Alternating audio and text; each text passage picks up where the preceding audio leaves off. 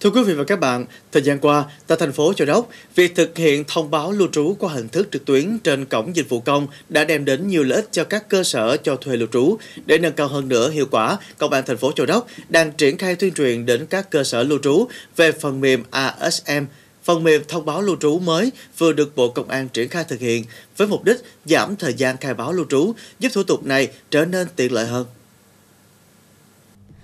Là thành phố phát triển mạnh về du lịch, Châu Đốc hiện có đến 397 cơ sở kinh doanh dịch vụ lưu trú. Công an các phường xã cũng cung cấp 397 tài khoản thông báo lưu trú trên cổng dịch vụ công quốc gia cho các cơ sở trên. Với mục đích giúp các cơ sở cập nhật thêm nhiều tiện ích mới trong quản lý lưu trú, Công an thành phố Châu Đốc đã tổ chức tuyên truyền về phần mềm thông báo lưu trú ASM, góp phần giảm thời gian nhập liệu thông tin lưu trú gửi đến cơ quan công an mà không cần xuất file trên cổng dịch vụ công quốc gia. Khi khách lưu trú đến đó, nghỉ đó thì mình mình chỉ cần mà cầm cái à, căn cước công dân để mình quét trên cái à, cái máy quét mã QR thì thông tin nó sẽ hiện lên luôn. Cơ sở từ kinh doanh đó người ta cũng nhẹ nhàng trong quá trình mà à, thông báo á người ta cũng dễ. Cái thứ hai đó mình cũng chọn trên cái à, cái máy điện thoại mình có định danh tử mức hai rồi đó thì mình quét trên đó cũng được. Cho nên nó hai cách thì nó rất là tiện cho cái cơ sở kinh doanh.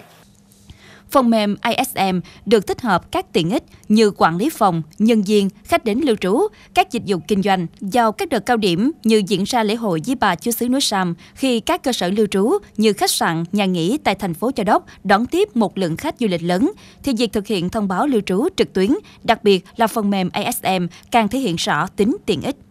cái phần mềm đó thì cũng tiện ích cho gia đình đó. Tại vì mỗi khi uh, có công việc thì toàn là ba mẹ nhà nhiều ba mẹ coi nhà thì nhiều á. Rồi xong là ba mẹ có phần mềm đó thì ba mẹ cũng dễ quản lý ờ, nhà nhà cửa hơn. Với lại số lượng khách mời lại thì ba mẹ sẽ tiếp nhận uh, thông báo lưu trú mấy cái giấy căn cước công dân nó tiện hơn. Phần mềm ASM đó thì nó rất là tiện lợi vừa cho công an vừa cho lễ tăng luôn rồi thông tin khách hàng nằm trên đó hết thì nó sẽ an toàn cho bên ờ, khách sạn cũng an toàn cho khách nữa. Mình quẹt cái thông tin của cá nhân đó, thì nó đã hiện lên cái phần mềm hết trơn rồi thì nó rất là tiện lợi. Việc cập nhật thêm phần mềm thông báo lưu trú ASM giúp cho các cơ sở lưu trú vừa quản lý khách hàng vừa thực hiện thông báo lưu trú trong cùng một ứng dụng duy nhất liên thông dữ liệu với cổng dịch vụ công lưu trú của Bộ Công an. Việc này không chỉ giảm thời gian công sức đi lại và các thủ tục giấy tờ cho người dân, cơ sở kinh doanh, mà còn góp phần phòng ngừa, phát hiện dấu hiệu tội phạm, phục vụ tốt công tác bảo đảm an ninh trên địa bàn. Để mà mở rộng cái à, cái mô hình mà đăng ký lưu trú phần ASM, công an thành phố sẽ chủ động đi tuyên truyền các cơ sở doanh nghiệp là kinh doanh là lớn là có cái à, điều kiện mình sẽ tiếp tục mình nới rộng ra những cái ờ, cơ sở nhỏ lẻ xung quanh khu vực để cho nó hoàn thiện.